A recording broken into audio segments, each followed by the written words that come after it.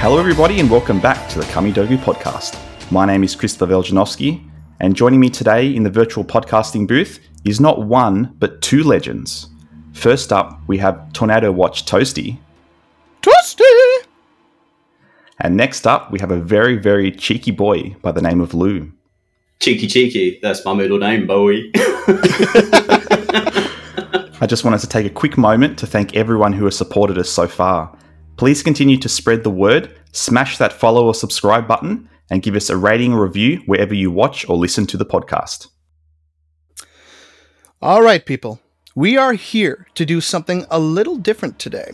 With the recent tease from Todd Garner indicating that he's back at work for the next Mortal Kombat sequel, we've seen it only proper that now is the perfect time to begin watching the other movie installments that have been released throughout the years. First up, and what we will be concentrating on today, is the very first OG Mortal Kombat film, released in late summer of 1995. The same film that blew up to be a box office hit and was highly regarded as being one of the most successful video game movies. It is a delight to review this very fine piece of cinema, while once again joined by our good friend and YouTuber, Lou. Mate, honestly, I've got so many memories with this film. Like, when I was younger, I wasn't allowed to even watch this film. If my if my mum actually hears this podcast now, like honestly, she's gonna whack me silly. Like she's gonna slap me left and right because there's so many things that I said to her that never happened when I was a kid. And this watch, watching this film numerous times is one of them. Even to the age of like 14, I think that she still said like you're not allowed to watch it. And Oh yeah. mate, I, I lost count how many times I watched it before the time that she actually realised I had watched it. You know what I mean?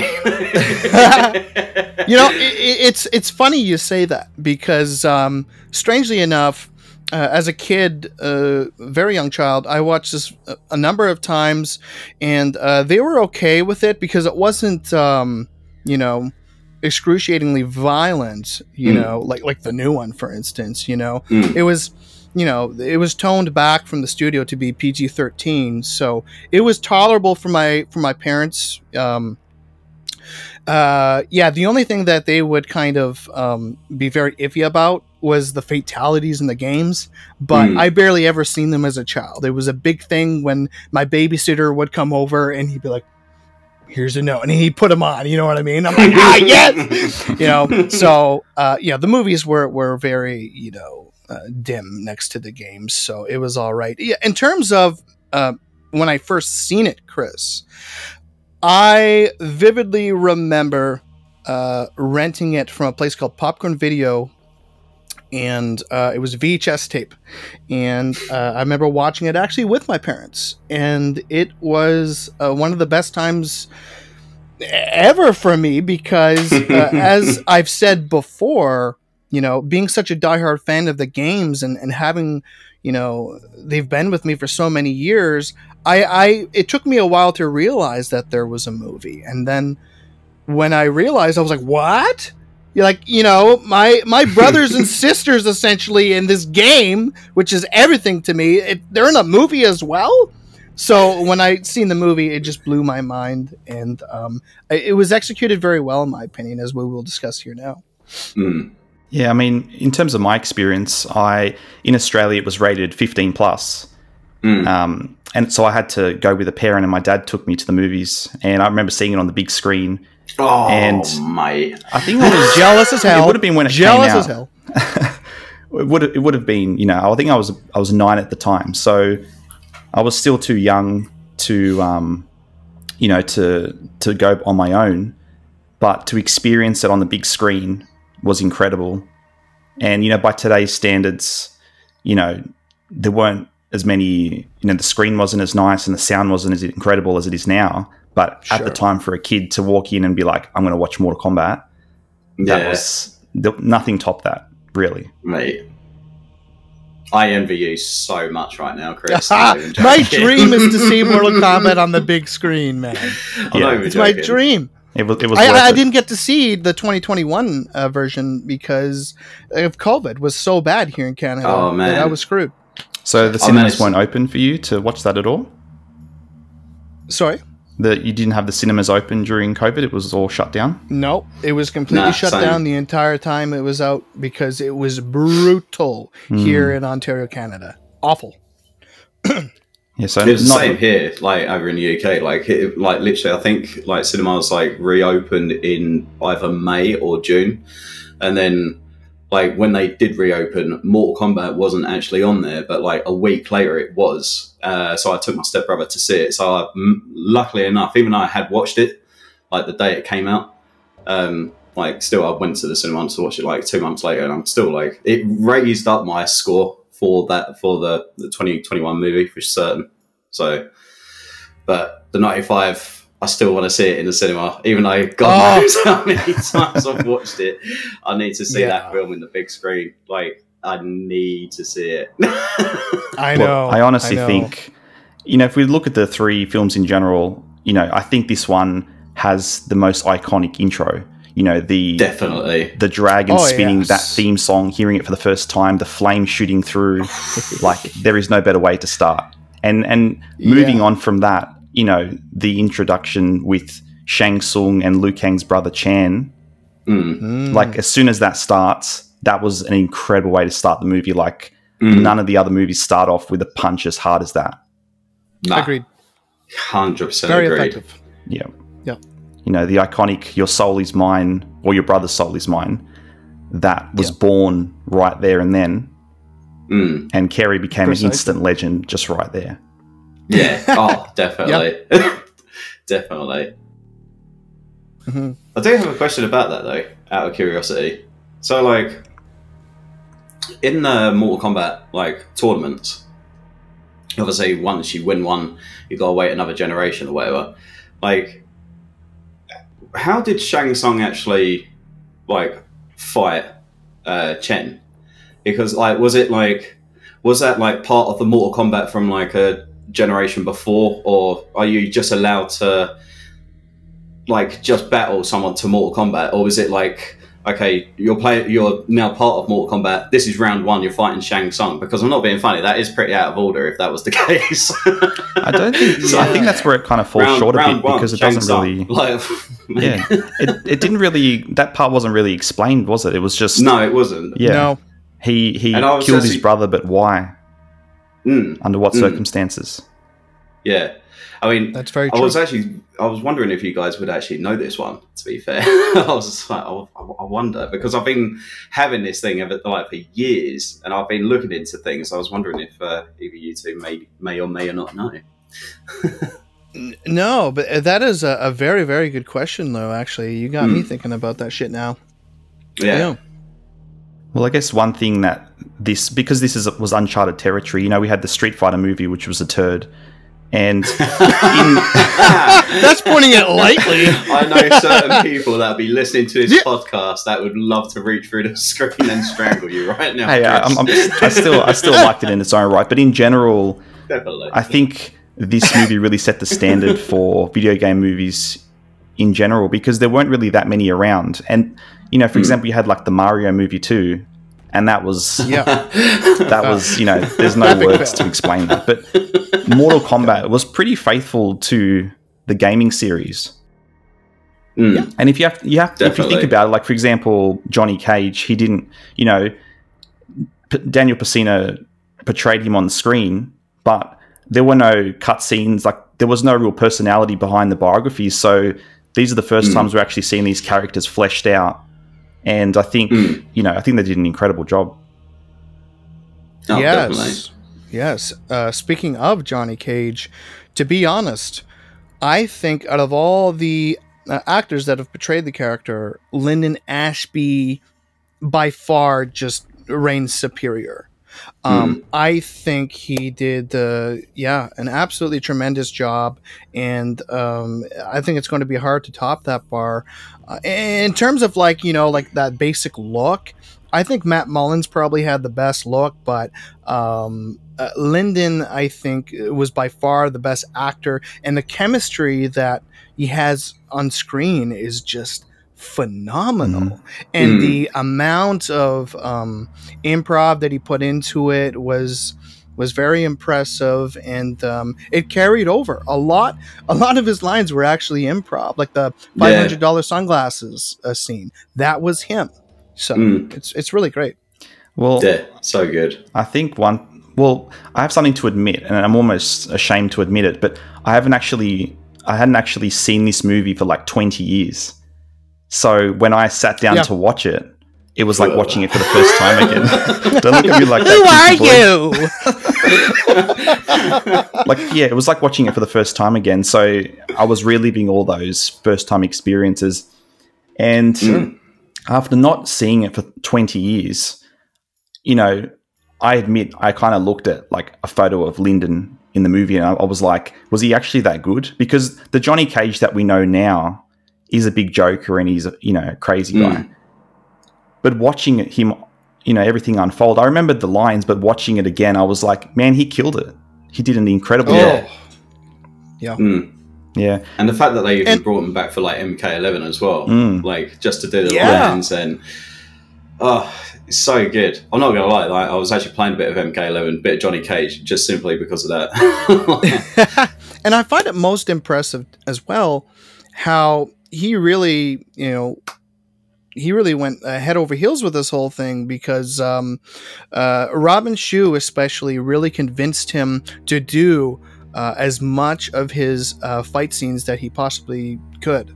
And uh, he got the shit beaten out of him by Chris Casamassa like he got kicked like he wore protective padding but he got kicked so incredibly hard that he actually severely damaged his uh, his kidney from a kick and he was pissing blood you know Yeah. that, that's dedication Mm. you know I know, I know the thing you're on about, and it, I know the exact bit that it was. Um, you know, from the reptile scene when he throws him into that like or oh robin. Shou, yeah Yeah, when he yeah when he's being thrown into that, that's uh, how he actually done his side in that. Like because I He think broke they'd his ribs, like 20, uh, some 20 ribs. takes or yeah, he done like twenty odd takes or something, and it was that one that they threw in there that was uh, actually the one that he. That's what he broke, wasn't it? That's They- that shot there. You see it in they the, kept it in the film. It's like yeah, that's when he uh, he actually broke his rib and then it's like pissing out blood. That was that. That's the shot. Yeah, That's the moneymaker. So, one thing I really want to point out in this film, having perspective, seeing having seen the newest one, I really love the idea of that there was a tournament. I think that was severely missing Mm. from the new one, and I hope they take the second film in that direction. But one thing that Mm. was amazing was how Raiden explained everything. So Definitely. oh I was yeah. paying a lot of attention. Like anyone who plays the games knows about, you know, the 10 Mortal Kombat tournaments and the rest of it. But he really went, there were plenty of scenes where he was actually explaining everything, which was really good. And Mm. I was trying to watch it as well, not only as a fan, but as like a, you know, if, if this was thrown in front of a casual, just someone on the street who had Mm. never heard of Mortal Kombat, of course they could actually follow the film, which I thought was incredible. Mm. And um, like for example, the the scenes that like the uh, the scenery, the locations they chose were breathtaking. oh in thailand Um, yes To me, one Oh, thing I want to point out actually Yeah. is when when they when Liu Kang goes to the Temple of Light to essentially, Mm. um, you know, when he confronts all those monks. I got like deception vibes from that because there was like, you know, there was a gong ringing and there were all these monks running in, and I was like, man, this takes me back to the conquest days, you know? yeah, yeah, yeah very good very good Mhm. yeah, definitely. And I think one thing that makes this movie special to me is yes, it was filmed in the 90s, but it has that real 90s flair to it too. So there were plenty of slow motion, you know, scenes, tons of Mm. iconic one liners. And it it was it was had a bit of cheese to it, but it was it wasn't apologizing for that. It wanted to be slightly funny, slightly cheesy. You know when Mm. yeah when um yes during the Goro fight, you know, you know, Raiden slaps the guy and goes, "Ha, sorry," you know. yeah Uh, yeah, uh, classic. It's funny you mention that because, um, you know, they wanted all those different ki- kinds of emotion in there. In terms of the comedy, Linden was obvious, but uh, uh, Raiden was perceived to be a much more serious character. Mm. but the studio kind of gave him that leeway.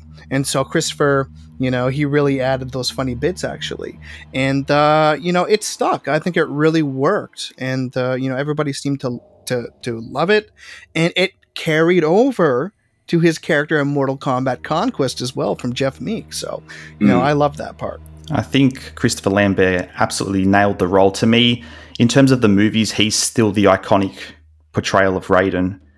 And I Oh, think definitely. Raiden is a character that I believe should always be ultra powerful, but he never comes across as ultra powerful. Whereas some scenes in this film, Raiden seemed quite powerful, like people feared him, which is something I Mm. think the games and the other movies miss. Mm. Definitely, that's because I think well they um, done it in this one where it was like he's not allowed to compete, um, and like even after they like Sonya, Johnny, and Liu Kang had that like little fight against the um, uh, well the other warriors on the island. Um, I think shortly after that, I think that's when it was like you know, it's, hard- ugh, trying to trying to think of what I'm actually trying to get to like a point. Um, Toto, you say something, mate. Okay, wh- where are we in space and time here? yeah. Let's, let's go to the uh, let's go to when they're We'll at the cut that dock and uh, you know Johnny Cage says to Liu Kang, you know, here's some cash, take my bags, and he just throws it off the pier. Like you don't see Liu Kang as a character like that, and I totally forgot about that scene, but I'm like, that's that's cool. And when the boat rolls in, Mm. like you know, it has the the Mortal Kombat head on it, the the dragon head, and you know, they they went all out with it. You could tell, being a '90s film, you could tell like they were in a studio, and you know, some things look kind of cheap, but you know, they they went to a lot of effort with even the boats rowing toward the island, like. They looked incredible, and you know you had this, the flares of light coming through the clouds. Like it looked like a really ethereal place. Mm. Yes, I agree. I think they did a, a a wonderful job with the yeah with the sets and everything else for that matter as well. Um, yeah, you, you mentioned the the film locations uh, before, like like Thailand stuff like this. Uh, some of the most beautiful looking scenes in the movie I found were when you, you could see that the sun was pretty prevalent and there's kind of like that orange hue you know like when johnny Mm. cage is talking to sonya uh, uh, you know um, about his plan with goro and stuff like that i thought that was so beautifully um, directed shot uh, and and the dialogue was great too so you know i really appreciated that for sure So speaking of which, Definitely. Same with Liu Kang as well. That Luke Yeah, Kang yeah, with Liu Kang. on Yeah. the beach as as well. well They, honestly, I Yep. felt like that's what they uh, tried to mimic from the uh, from uh, 2021. Like you know, you had uh, Lin, uh, Ludi Lin, like going into Yeah. uh, out from the sunset. I feel like that's what they tried to mimic a little bit. But I- i was thinking What? that i was thinking yeah, yeah yeah so obviously Liu Kang is like the, the, the main star of this film. If you had to compare him to Ludi Lin and their performances and their portrayal of Liu Kang in general, who would you say did a better job? Because it's it's hard to say because oh man there's such different movies and different time and space. Could you pick one, or did they both do an amazing job in their own right? Toasty, I'll let you go first, my man. Yeah. Man, that is a tough question. Uh, they were both so good uh, in their own way. Um, I felt in the fight scenes. in terms, in terms, in terms of what I think is more authentic to the games, I'm not gonna lie. I, I actually think Ludi Lin probably uh, was there more so. Um, You know, he because we, we really got that kind of Bruce Lee vibe from uh, from Ludi, and um, you know, Liu Kang is a very a very humble, a very sweet person. He really is, and Ludi also really uh, put that into the film, which I loved. Um, Robin was more of a oh this is all bullshit. No it's not true. It's not true. And he was that really rough kind of Mm. guy. And but don't get me wrong. Robin Shou is a legend. And he really made the character iconic, stand out, and you know, in his own way, he really made it um, outrageously good as well. So it's it's really hard to pick. You know, I love them both. Hmm. Fair. Yeah. I mean, for me personally, I would actually say like I, I completely agree everything that you're saying there, Toasty. Like near enough, like down to T. But like, I feel like with Robin Shou's like performance, there's just so many little things that built up for me that like just overtook Ludi. Like that's even with the martial arts, I would say as well. But like, if I were doing a comparison from things like yeah you have Ludi Lin's like fireballs and like how well he's able to like just bring him out he's even just meditating he's just on the wall like having it in his hand but then I found like the facts like you have like the bicycle kick from Ludi Lin I didn't feel like that executed nowhere near as powerful as Robin Shou's one and I think No. it's because like you know it's about to come kind of thing and it was like uh, I don't know. I feel like the 95 versions of the bicycle kick is so much better than the 2021s. But then, like you say, there's just so many little things like Ludi Lin's performance from there, like Robin Shou's like story throughout, even though it's like doesn't really like in line with the uh, games and such. It's it's such a split in the middle question. But yeah, to be fair, I think I'm just a bit biased, and I love I love Robin Shou. He's my boy. he is So- he is legendary, man. He is, yeah, mate. So I guess we'll we'll move on to uh, say Bridgette Wilson as Sonya. So, what did you think of her portrayal? I thought she was a little. I, I know Sonya is a hard ass, but she, I think she was a little too intense. She sort of loosened up toward the end, but she was a little too stark for quite a, lo- a while into Hmm. the movie. Yeah, I, I, I'm going to have to agree with that. I thought it was almost a, a little bit overkill with that. Um, I think with Sonya's character, you got to have some of that, but there needs to be the balance. And um, uh, it's funny because you can watch the sequel after Annihilation, and Sandra Hess, her, her attitude is is quite different. You know, I've seen a number of people on uh, on the, on the forums or or Twitter that uh, actually prefer Sandra.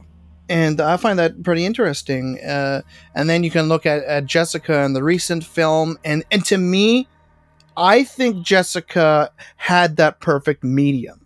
Mm, And uh, she really uh, No gave doubt. off the look the most. So I, I Hmm. think she's my number one there.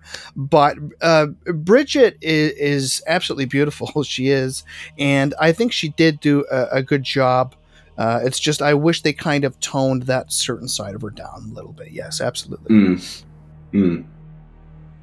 I mean, yeah, I would actually just say with um, Bridgette Wilson, it's like I think again, I think it's even just down with the chemistry because you know that Sonya Blade's um, story for Mortal Kombat '95 is to, uh, to get Kano, and it's kind of similar for the 2021, just with the Arcana and everything else. It's Kano that has it and not her, and it's like again that kind of like falls down to the chemistry, how well they are together, and that and again like Mortal Kombat 2021 had like so many good things between both Kano and Sonya for the that one, but with I don't know with the 95 version, I would still say like even Sonya and Kano for then. I think they're just so much better personally, just because there's like I think it fits the tone of Mortal Kombat more, where it's more of a chase and like you finally get there, and then when you see him, it's just such a like stare down and it's like oh you see this? I'm gonna cut like you know put a big smile on your partner's face though. Like it's like oh mate if you heard that and you was going through the same situation you want to bash that boy straight in the face give him a left right good night boy do you know what i'm saying? I think that's And an interesting an interesting bit I wanted to add in actually about that. Even though uh, the 95 movie did a good job with that, there actually originally was to be even more of a, of a thorough look on that side of things with the movie and it's a shame that they dialed back a bit Hmm. in the novelization of the film, uh, there's a special forces task force that is sent out to apprehend uh, a number of Black Dragon thugs. And uh, upon this operation, the uh, commanding lieutenant gets uh, killed by Kano, and this lieutenant is uh, the partner of Sonya. So to actually see that, I think would have been good for the audience. Yeah, and fur- furthermore, if you read the uh, official movie magazine, for sure, it's also indicated um, more specifically that Sonya's partner is uh, actually her fiance. So I thought that was all the oh, more. really? Yes, I That's thought that was all the more intriguing. Yeah. So the fact that they uh, eliminated that, uh, didn't even mention it in the movie, is kind of questionable to me. Because I Mm. think that would have made the audience bond to her even more and really understand just how much she wants to get at this guy. To really and that would have taken a lot of the starkness off yeah. her character because she just seemed like yeah she, she was set on a mission that was it nothing else mattered there was no real human side to her whereas Mm. that would have yeah Mm. helped with that I mean, she does obviously drop off like little hints in there to say like um, something to do with a partner anyway, doesn't she? Um, in the film, so it does give like a bit of a background to say like why she is as annoyed or whatever, like going off uh, for vengeance or whatever. But yeah, still completely agree. It would be good to if, to uh, have actually seen it play out and like what the partner actually Yeah. meant to Sonya, especially if it was the fiance. That's crazy. I never knew that. That's actually Yeah. mental. So cool. Yeah. And you find it here on Kamidogu Podcast, eh?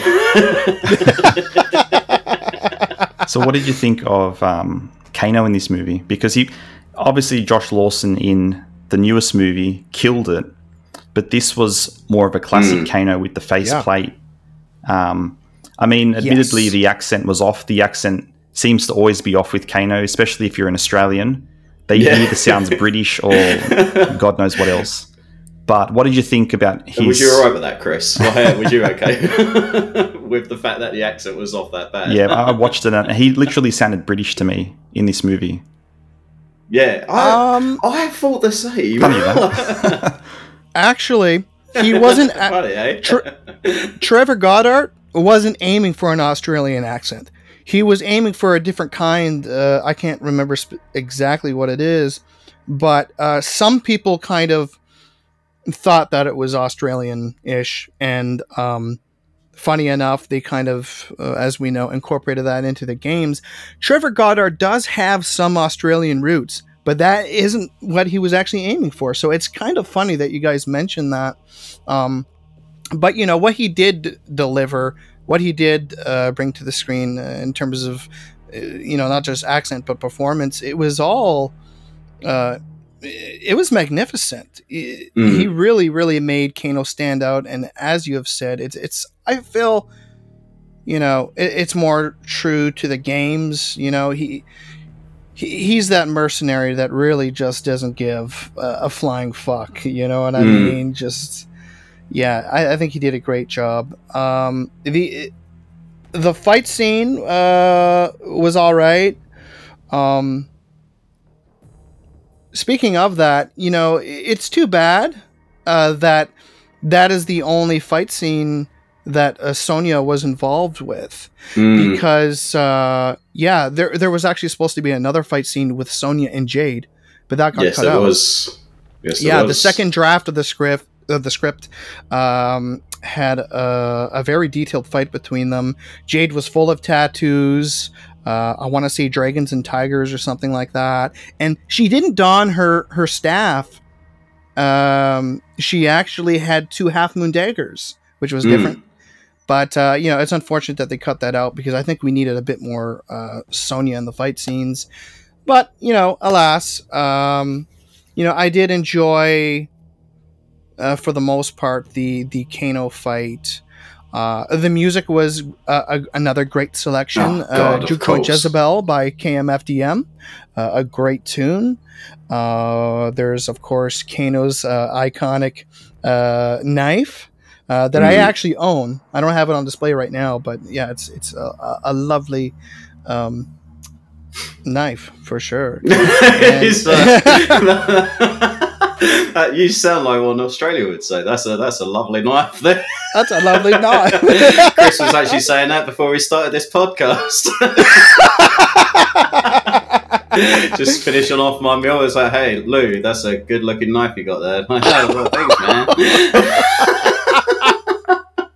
Did you think Oh, that? Uh, I think it was a shame that he got killed so quickly, though. I think he could have given a bit more to the Um, film. yeah. Oh, definitely. Uh, yeah. Definitely. Yeah. I was, uh, I was. Oh, go on, Toasty. Go on, all yours, man. Yeah, yeah, uh, like I mean, even just kind of opening up uh, with him towards the beginning of the movie, as I've explained, you know, where you really get to um, properly get introduced to Kano's character, who he is, and what he does. That would have just been so much more effective and cinematic. But instead, introducing him, he's just standing there with Shang Tsung, be like, "Oh, oh, oh," we talking about you know random stuff, and it's like, "Oh, who's this guy? Who's this guy with the with the uh, robotic eye? Oh, Mm. you know, it could have been introduced a lot better, I think. So Yeah. it's, it's a real shame. But uh, go on, Lou. Yeah, no. To be fair, man, that's exactly like, near enough what I was about to say myself. Even just with the um, Okay. eye plate, I was actually about to say like it would have been good to actually see how he got that because obviously there's so Mm. many different stories as to how he got that. It's kind of like how Jack, Jack's got his arms now, Mm. kind of thing. Like, it, like poor Jack's, man. But but um, yeah, no, it's, it would have been good if they did actually show um, again a little bit more background into. But at the same time, I think because it was just such a fan service film for me personally, like it was just. A Mortal Kombat fan walks in straight away and they goes, "That's Kano." Straight away, they would know it because they will say, "Oh, the silver eye, the red eye coming out." Like, so for me, I, I, I think it's still so sick, so sick. that's that's another thing um, 2021. Where I'm going to have to up the points with Kano for this film is that Hmm. he has the metal faceplate. I was Hmm. very, very disappointed that uh, Josh Lawson uh, uh, didn't quite have, well, didn't have the Mm. cybernetic part. Um, now, I do understand that uh, they toyed with that idea and they actually tried, I believe, uh, Hmm. some renditions, but they just couldn't quite find it. So ultimately, they just kind of did what they did, Mm. um, which is a shame. Uh, we all want Lawson back. If he does come back, good lord, they better fu- uh, figure it out and bring it back. or yeah, yeah. All the fans You are going to couldn't be have a pretty second movie without the faceplate. It's Yeah. just it wouldn't be right. yeah. No. It's funny though that we actually say like Josh Lawson's one is actually still really good, um, but obviously we've got the metal plate for the '95, but yet he never used it. Mm. Oh yeah, He- that's true. That's kind of odd. Well, that, that's another That's point I want to bring up. So in this one, I noticed that almost all of the characters are just like normal people. They don't really use any special abilities. So, for example, Hmm. Kano, you know, did he do his cannonball? No. You know, did he do anything No. with with That's- the eye laser? No. Did he do anything? Did he throw his knife? No. So really, he was just like a a generic thug that Mm. you know, just talked smack and beat Sonya around a bit. That was it, really. Like the, these these moves, the moves are as iconic as the characters themselves. So if you don't do the moves, Yeah. you know that that's where I Hmm. think it fell over a bit. Like Sonya did her leg grab, but then you know there was no kiss of Yeah. death. There was, you know, she didn't do her No. um, ring toss thing. Like nothing. Yeah, That's actually somewhere where the new film by far reigns Yeah. superior is, is the special abilities and whatnot. I was very Definitely. disappointed that they didn't display it too much in the I mean- original. You got Johnny Mm. Cage's Nut uh, punch. uh, shadow kick. You did a nut punch at least Uh, nut time. punch. Uh, you have Liu Kang's bicycle kick. You have his fireball at the very end of the movie. Is Although that other ones? fireball is more, So you- more yeah, like a fire Well, there's punch, Raiden, isn't obviously. it? Yeah. So you have uh, Johnny Cage does have the shadow kick, but he does it in between the teleport, doesn't he? Yes, yes. So you do That's have correct. that, but he doesn't have the um, the projectile um, energy ball. Um, Liu Kang fireball and the bicycle kick. The only thing you didn't Mhm. get was the fire. Um, We mentioned Dragon Sonya's kick. bit. yeah, Sonya uh, Katana like didn't even have a fight. Yeah, and she didn't have a Uh, Did she even have a fangs? Not No. really. Like, she was just walking So- unarmed the whole time.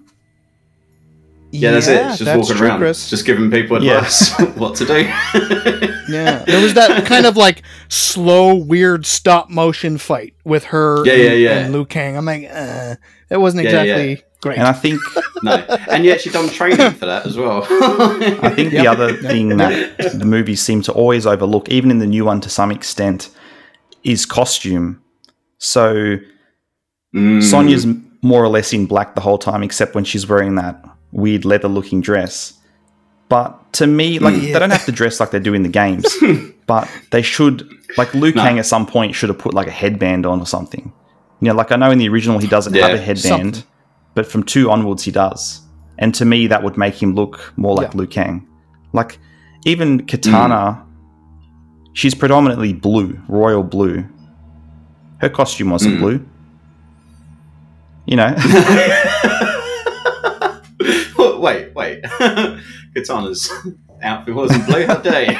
That's not Katana. but Um, no, you're all right though, man. Like, uh, like Scorpion Sub Zero's outfits. Like, even looking at them now, you'd see them as like kind of Yeah. cosplay like outfits. But I st- I still rate them so much, so so. oh, I love them. Um, and Raiden, like you can kind of say like, okay, it's it's, it's pretty like just a standard down, like you know, like kind of like it's, it's borrowed from Lord of the Rings, like White Gandalf, like Gandalf slash bathrobe man from Kmart. yeah, yeah. yeah, that's exactly it. but Shang Tsung, Shang Tsung's outfit. Oh, that coat though. I That want that coat. that coat, though, I tell you, that coat is something else. and they That brought it back for. MK11 as Yeah. well. It was so beautiful. so needed. It- yeah, it, it is. It's amazing. So so Just- good. I think in, in this movie, Yeah. like Cary, I could we could have a whole podcast about Cary because his performance was so iconic. God. But the difference in this movie is I felt like he was portrayed as a much stronger character than in the newest movie. So, Mm. for instance, the Soul Steal, we saw that very early on, and Mm. ninety nine percent of those watching would, would in the cinema would have sat back and gone, "Whoa, this guy!" Especially if you don't know Mm. who Shang Tsung is. If you just watch the movies Mm. as a casual, you know, Shang Tsung is just the guy that runs the tournament. But hang on a minute, he's powerful as hell. Like yeah, yeah, you yeah. fear him, you want to fear him as as the people. audience too. Mm. Yes, a- and speaking of that, Chris, uh, I you you are correct. You you find you get that feeling almost uh, immediately because when the movie's first taking off, for instance, in uh, Shang Tsung's boat, the scene where the most iconic Mortal Kombat characters of all time, Scorpion and Mhm. Sub Zero, walk out. He says in his speech, "They're you know the worst Deadliest of of enemies, enemies. Yeah. deadliest of enemies, but slaves Yep. under my power." Yeah, And right there, it's like, oh shit, don't Mm, mess with yeah. that guy. Wow. Yeah. so I thought that was uh, beautifully done. And just the fact as well that Raiden basically kept, um, you know, reiterating to Liu Kang that he is far more dangerous than Goro. And fighting Shang Tsung is not fighting one, but a legion of adversaries. Remember Mm. that. So Yeah. powerful, gives you chills, Mm. and I think they executed that perfectly. So and just the, the, the delivery of his Yeah. lines too. Like he just had this real, you know, slow intensity to him. You know, you would you would hang off every Mm. word he said, and would almost like resonate within you.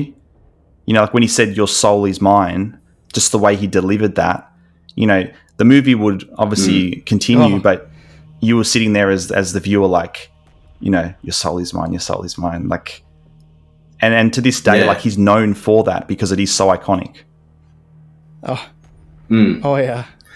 And I think that's what they do so much better from the 95 to 21 again. Like, because, like, near enough every single time you do see Shang Tsung in the film, he's either morphed into someone else to manipulate them to come to the Mm. tournament, or Mm. he's literally just stealing souls, or like, literally every single time you see him or hear of him, he's doing something that he shouldn't be doing. He's bending the rules, and it's giving you that like, yeah, this guy, he's he's like he's going to do anything to take over. Where like the 2021 version, like he is good.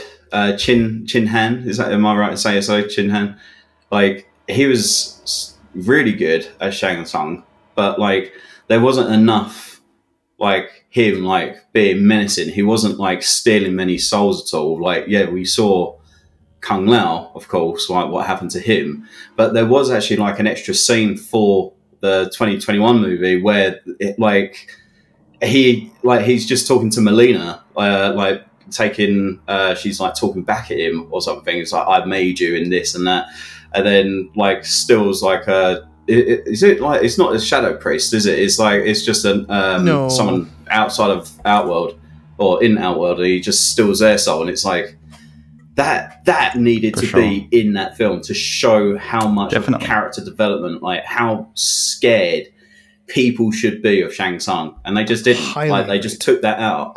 I'm, I, I That can was literally a- see it in your face, like scene. Toasty, that you wanted to say it. I, you wanted to say that. say it, You took the words right out of my mouth. Yeah. You I son was of a like, bitch! Is he going to mention No, this? yeah. I'm going to beat him to it, uh, cheeky boy. what did you think of um, Yeah, what Scorpion? what a shame. So Mm. his harpoon Mm. was, yeah, you know, it, it was this weird bird head, possessed bird head slash Yeah, it's dinosaur. the, it was the bird. I, I'm probably going to be a minority here. I actually loved it. Um, I did you know, actually enjoy it, to be fair. Yeah, it- it's very- Toast. very unpopular opinion. Um, you know, it's not true to the games. They took a liberty there, or they changed it up. But in a way, I can kind of understand why they did it because, um, what? I mean, yeah, you look at it now and you're laughing at it. That's the worst CGI I've ever seen. yeah, but the con- the concept is there, and at the time, it's like, holy shit, that's that's fucking terrifying. You know, imagine Mm. this screeching creature will go at any extent and follow you wherever you go to really just gnaw at you. And I find that, um, you know, absolutely petrifying. So I get that. Um, I, I thought it was pretty cool. And, um, you know, there were a number of people that liked it. And again, this is one of those things that carried on over to the not just the sequel but conquest television series as well so clearly it did resonate with with uh, a number of people um, Mm. yeah chris casamassa though absolute legend. He's still all out there at events and stuff like that and really passionate about his character in mortal kombat. A lot of respect. Um, yeah he, he was lovely in the movie. Uh, you mentioned the costume before. Even though it's a little generic and basic and some people really judge it for that um, i kind of like that simplicity though and and i think um, i think it was very effective. I liked it. Um, i really liked um, you know the way that they made his eyes look in this movie i, th- I thought it Mm. was perfect. Um, for whatever reason uh, they got rid of those exact same uh, sort of contacts that he was wearing for conquest. He looked a little too human in conquest and i didn't like that. Um, yeah so um, i just loved seeing all the scenes with him. Oh, the fight scene in my opinion with scorpion and johnny cage was the best fight scene in the whole film yeah, Um, that was good. Oh Lord! Now, yeah, Lou, Lou, the one with Liu Kang and Reptile though is pretty epic, that one. and I'd say You- you that's just you're just just burning a hole behind my it. heart right now. Oh, yeah, it's just just behind it. It was fascinating, but Hmm. um, I just loved uh, the way they directed the the Scorpion fight. I love Hmm. that uh, intense, punchy music by I want to say by Fear Factor. I think Mhm. Fear Factory uh, when they were fighting in the you know Scorpion's lair kind of thing. Uh, some of the wide shots were beautiful. Uh, now you can kind of tell, especially especially when you watch it on an 85 inch TV. Oh, you wait, can yeah. clearly see it's like that's not Linden in that wide shot. That's JJ Perry. Susan but Boyle. you know what? It's Susan Boyle. It's Susan Boyle. but you know, for, uh, uh, uh, we were talking about special abilities and, and fatalities and things like this. Uh, Scorpion does the Dusty fatality, Mm, uh, you know, at the end of it. So I thought that was uh, fabulous as well. mm. How about those special effects when Question Scorpion explodes, though, right? Yeah, yeah, yeah, definitely. no, that definitely happened, Chris. What are you talking about? They just paid that stunt man a lot of money, man. I love the friendship there, eh? Yeah. With Johnny Cage, so good, so That's good. it. That's it. Um, I was actually going to leave with that. Oh yeah, you know, um, at the end of that fight though, where um, there was obviously a picture of Johnny Cage, and it says to like my biggest fan, Johnny Cage. Who had that picture? Was that Scorpion or was that Johnny Cage? He just always has one like laying around in his pocket. It was, so, was, was Scorpion What? just a number one fan of Johnny Cage? It was like this is the way he always wanted to go. it's funny because I've heard that before, Lou.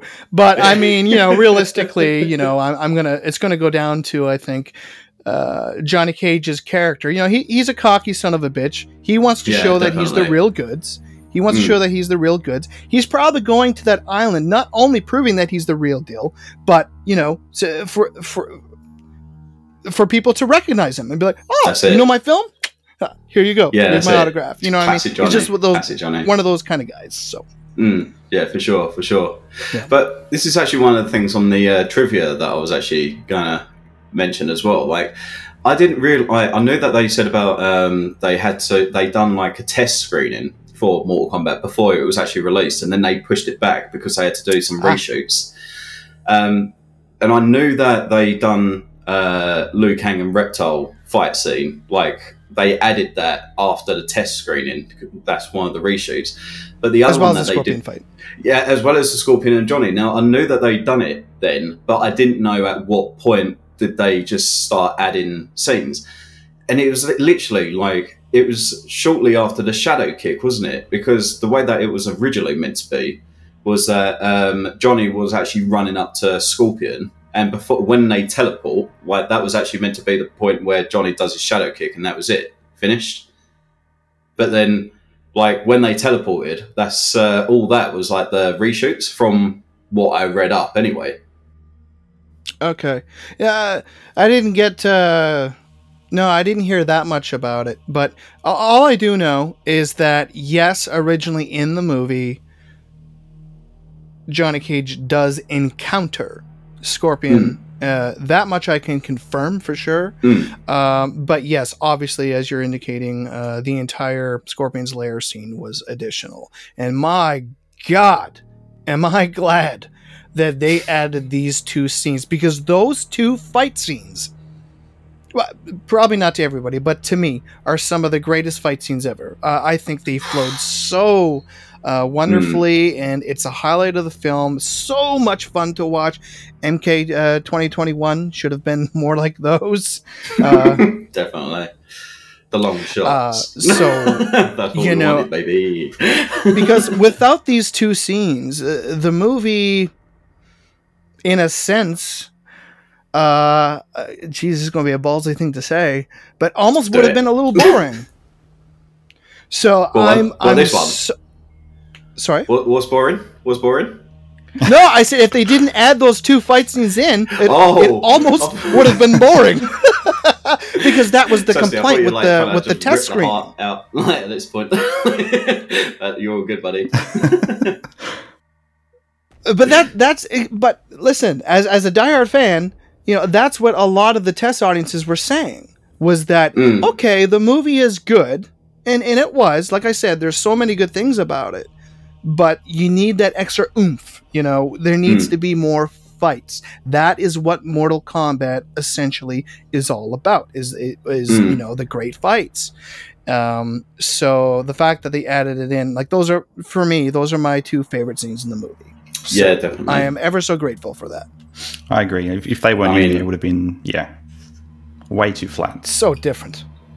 I couldn't tell you how many Yes. times I've gone onto YouTube and just watched that school, uh, that uh, reptile and Liu Kang fight.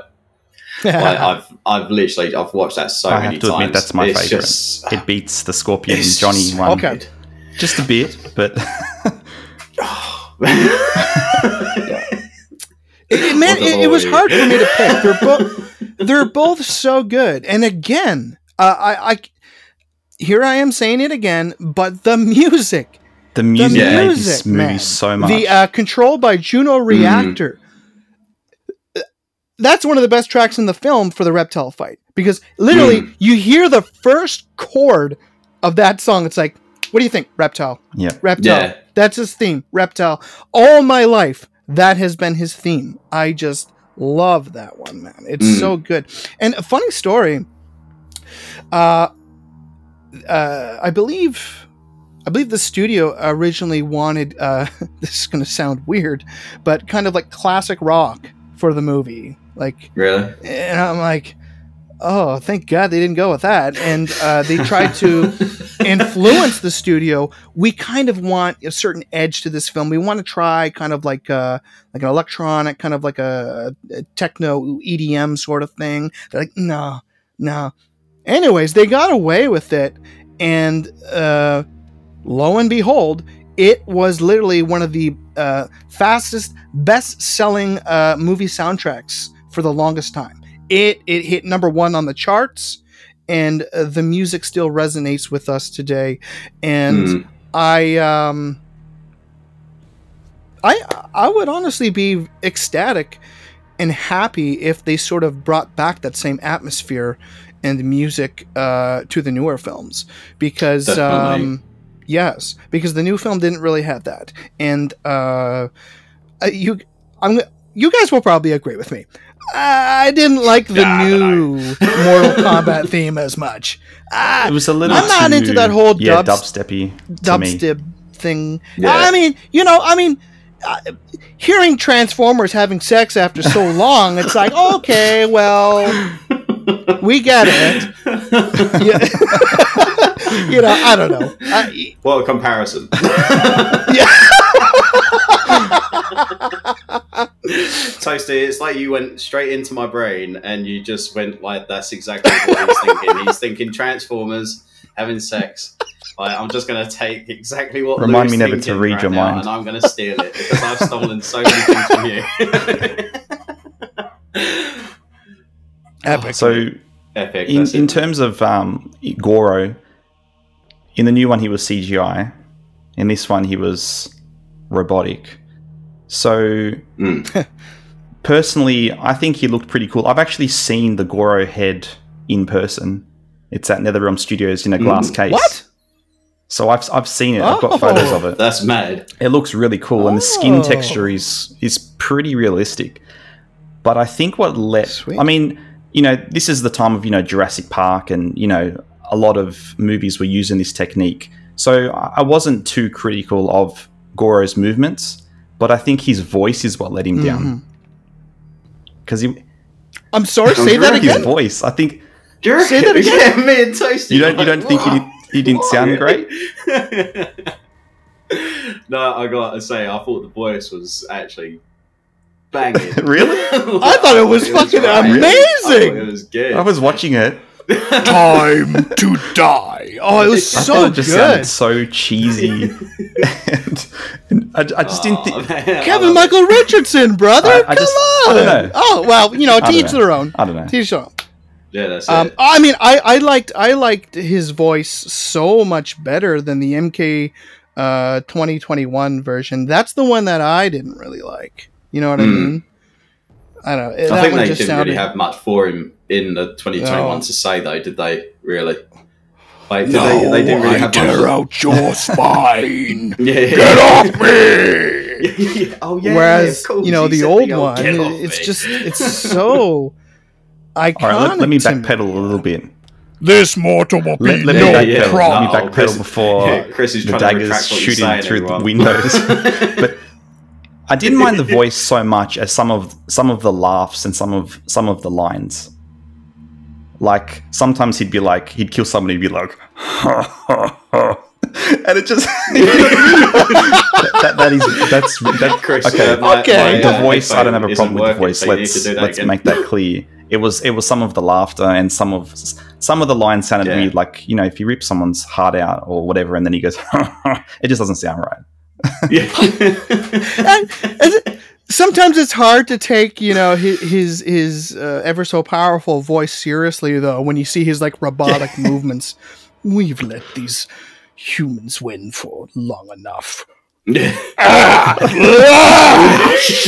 I've got to say though, that montage of like everyone just falling on the floor, like even if they had Yeah. repeats and they just flipped the camera That- angle, I could watch that for about. A good I actually thought that would be an incredible least, boomerang, just just just to loop it over and over again. they, wouldn't it? and I think it, that that probably went like three times longer than it had to. Like So I think if you had three or four bodies, that was enough. But it was like 16, I know. 17, 18. yeah. Mate, yeah honestly, uh, that it's was a bit good. redundant Yeah, there was like quite a lot of them in there. There must have been about 18, 19 of them. It was like, and you have to admit, when he got hit Madness. with the, the nut punch, and he was like, yeah.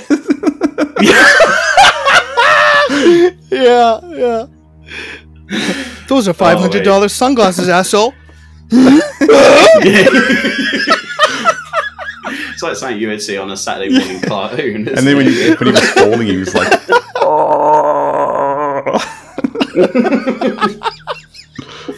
Paul Gora. Gotta mate. love it. Gotta love I think it. that's part of its charm because it was like, it was cheesy. Yeah. It was like 90s cheese. Yeah, yeah, that's it. But the uh, it does still like ask the question though: Would you still prefer the puppet over the CGI version or not? Well, Go on, You know what? go on, Chris. I'm, I'm gonna say this. I'm gonna say this. Okay, I much prefer uh, uh, practical effects uh, as opposed to uh, an overabundance of CGI. Yeah, I don't Mm. like that. It, it looks way too cartoony after a while, and just you can tell it's fake. Um, You know, I think with um, I think they could do a, pr- a pretty good job with like you know the the puppets or whatever nowadays. I think it still could work. I mean, this is '95, and this was the first of its kind. Uh, Goro, Mm. you know, that was a, a big thing for them. Um, the, yeah, this was all new grounds for them. So That's you- what they spent you most of the money on as well, wasn't it? That's what most of the budget Oh, was actually spent I'll- on, wasn't it? Was I'll- Goro? was Goro a large amount of the money, and um, my God, it took. This sounds absurd, but it took like thirteen minimum different people to operate Goro Mm, yeah. uh, during his scenes, uh, and they got paid more than any of the actors of the main actors on the movie.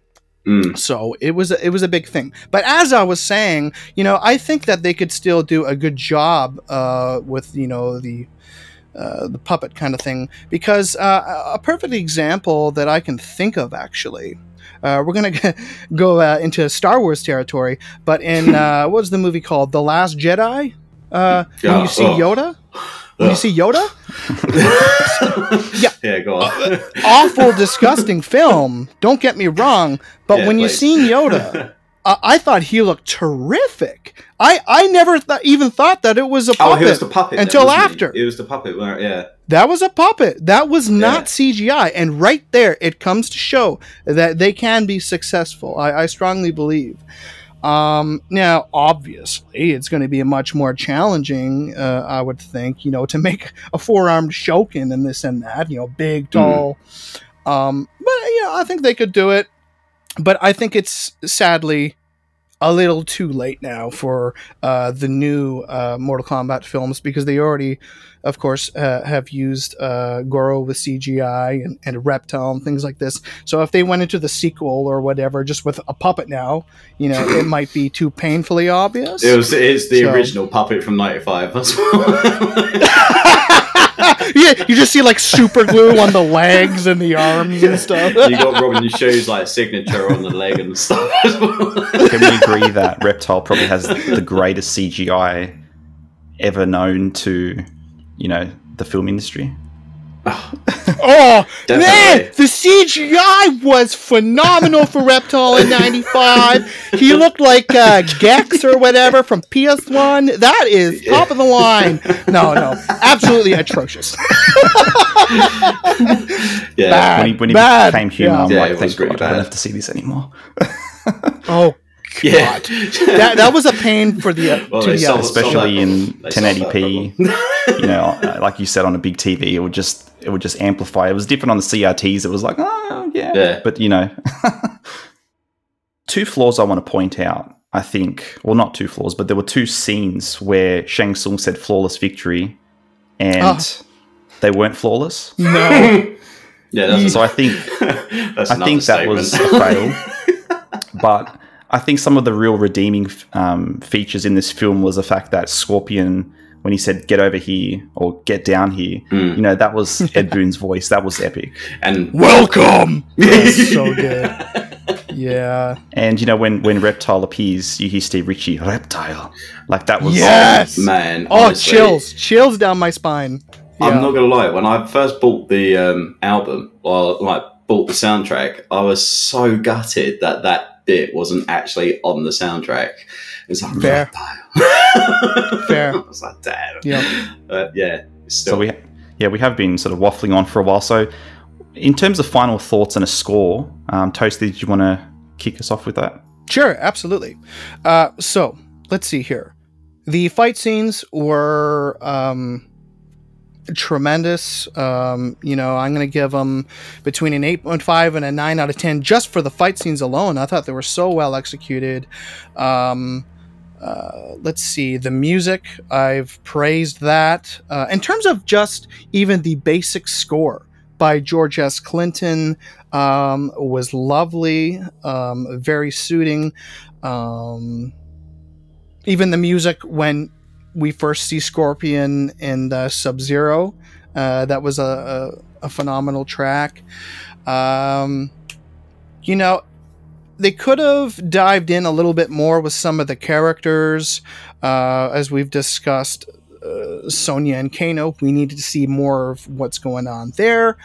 Um, I wish they dived into. Uh, some people might not agree with this, but I think a lot will. I think they should have dived into a little bit more of the romantic side of Liu Kang and Kitana, because uh, you know Lutana, that's kind of like the thing, right? It's I think I think a lot of the diehards that's what we want to see, and uh, originally it was written in the script. Uh, Robin Shou, in fact, was uh, looking forward to that, but the studio decided no, we want to concentrate on the action, so they cut it out, uh, which is he was looking unfortunate. forward to that. because because when you watch this when you watch the sequel directly after it seems way too fast rushed and what? They're all suddenly in love?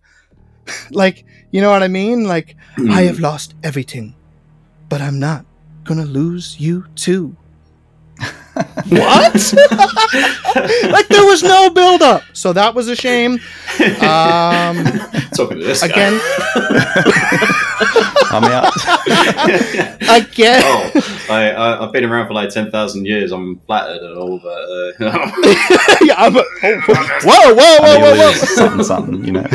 um, performances were uh, legendary. Most of the casting was spot on, uh, and then you go to Annihilation, and they changed all these actors, and I don't I can't wait till necessarily. I, to have, that yeah, that, that's that's for our next our next time. But um, I can't wait. uh, I didn't I didn't uh, like a lot of the performances in Annihilation, but 95 nailed it. Um, anyways, I don't want to digress too much here, but my final score, I would give this film. Honestly, okay. Let me say this: if I could go back in time, uh, Chris, to our very first episode where we reviewed the new movie, I would. I think now that I've watched uh, both of them uh, I would give the new one maybe a 7.5 or an 8 out of 10, whereas the OG one, I'm going to give a 9 out of 10. I seriously am. I think it was so incredibly done. And there are a lot of things for this film that, um, uh, you know, the people working on uh, the new sequel, they, they really need to jot that down. because there, there's some improvements that need to be done. 100%. Yeah. Definitely. All right, Lou, did you want to go next? Yeah, I mean, to be completely honest, like the reptile and Liu Kang fight scene will always be my number one go-to for every reason. Like the lead up to it, the music to it, the actual Bicycle fight kick. scenes, the yeah, the bicycle kick, like even Perfect. the lead up to that as well. Just CGI. Eh, no, it's not Chris. It's real. Like God, Oh, how many times uh, I I don't mean to cut you off, Lou. I- don't mean to cut you off, but uh, here's a fun fact for everybody watching. In that fight scene, uh, if you look closely in the background, um, there is actually an exact replica of the window design uh, from the arena The Tower from Mortal Kombat 2, just ever so present in the background. That was very interesting. And towards the end of the fight, when um, Liu Kang is starting to get the upper hand against Reptile, if you look closely on the wall, you'll see uh, a number of icons that are shown. This is a special code for Mortal Kombat 3, which was released four months before the movie. And in, when you Oh, input man. that special when you input that special code, uh, it randomizes your character before the match, and you'll be somebody unexpected. So Oh, That was pretty no interesting. way. yeah, There you go. That's awesome. That's so cool. what Mhm. uh, what was that for? Mortal Kombat Three. Mortal Kombat 3. It came out, I think, I want to say four months before the movie. Yeah, Yeah. nice. I might actually Yeah. try it on my arcade one up machine, to see if it works. Yeah. yeah. Uh, um, but yeah, no, with um, like the fight scenes alone, like yeah, they got added into it after the pre-screening and everything. Um, I love the characters. Like I love that you got Liu Kang as like I know there's three of them, like Johnny, Sonya, and Liu Kang, but you do see Liu Kang as the main protagonist throughout the film. Like I think that works. Uh, he's there's just a lot of good stories behind him. Um, and like the outfits, everything to go with this film. There's just so much nostalgia, like, and again, the original like Mortal Kombat theme tune, like every single time you'll just hear that Mortal Kombat.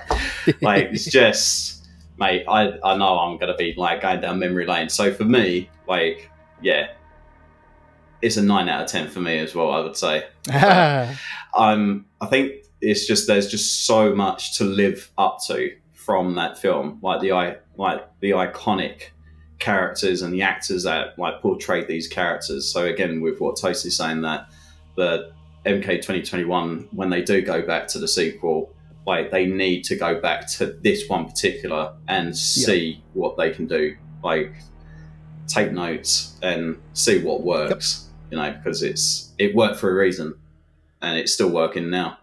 So you said it. that's it. That's it. But what about you, Chris? What are you saying, sir? I mean, I'll keep it pretty brief. Um, watching it for the first time in like 20 years, I found myself smiling so many times Mm. because I forgot. I I remembered key scenes, but I forgot so much. I appreciated the acting. I thought, you know, I knew Cary was, he he stole the show, but, you know, watching it again, especially after playing MK11 and hearing his voice, Mm. man, the guy, that will live on forever. That Definitely. trailer Shang Tsung Hundred percent. that'll live on forever. Um, I enjoyed the story. I thought the story was good. I, I missed the tournament. That's what I think. Again, like I said before, that was what's missing from the new one. And I think overall, they just nailed it with the music, the scenes, everything they did. Um, again, Toast, if I was to go back to the very first episode of the podcast, I would probably downgrade the new movie score. Yeah. And again, I would give this a 9 out of 10. So that's nine. It's across Nice. the board, right? Mate, Yeah. Um, I think, yeah.